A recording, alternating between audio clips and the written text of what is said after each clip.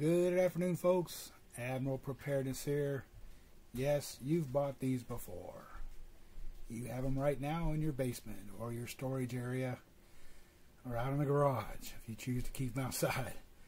But to your disgruntlement, these guys are welcome signs for rodents and insects. These bags are still thin enough where the animal can chew into them. So here's what I've done. I take those same rice country and put them inside of these guys. Nice and sealed. It's not going anywhere. It's easy to handle. Each each container's been thoroughly cleansed. 6 to 25 pound bag of rice. These guys could be distributed throughout the house. If you wanted to, you could remove these labels, paint these the spray cans, put these up. You never know that they were even containing rice. I tell you what, folks, I'd rather have them like this than a big 25 pound bag of rice because that 25 pound bag of rice can be very, very cumbersome to try to move around.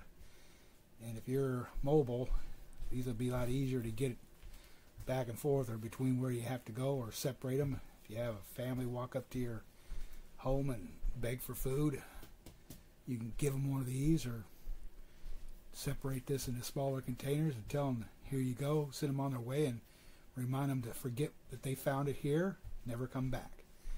You always remember, you can be graceful, you can be very generous, but when people start knowing you've got food during an SHTF event, you're not going to be very, uh, very well left alone. They're going to come knocking on your doors when the word gets out that you've got stores. So all I ask you to do in the future separate your large bulk items into smaller containers. Now these were uh, going to be disposed of, going to be thrown away. And uh, what I did was clean them out, sanitize them.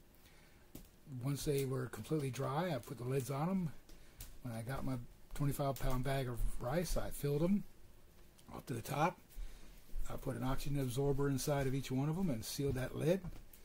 And that's as good as gold. Good as gold, folks.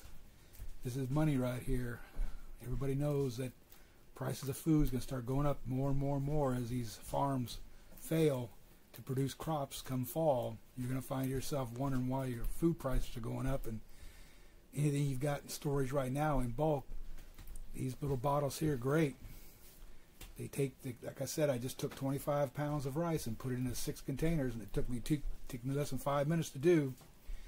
You can do the same thing, folks. Just remember, know, all about storage. It's all about getting these items preserved and separated so the animals, insects, rodents, marauders, and thieves can't steal you blind.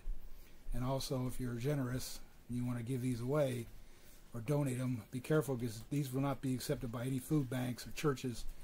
Uh, this is an individual to individual product that you can give away. Uh, don't even try to take them to a food bank. I'll just throw them away. Yeah, 25 pound bag of rice, same thing. Once that passes expiration date, they won't accept it. Churches won't accept it either because of these silly lawyers. So if you break these up, these are going to be for your own personal consumption or gifts to your friends and family in times of need. But I just want to put you folks to understand that when you put these in these, that they can be moved around and separated so nobody has a second thought of what these in here, especially if you paint them. If you've already sealed them up, now you can paint them. Uh, if you're going to paint them before you seal them, make sure you have the lid on it completely, let them completely dry before you go to put the contents inside the container. Now, it could be sugar, it could be rice, it could be wheat, flour, it could be uh, beans. Anything you want to put in these containers is going to stay good for decades and decades and decades. Uh, this is considered waterproof, and it uh, gets into a flood. This stuff will sit in the bottom. Clean them off, sanitize them, and you can get right back inside the containers.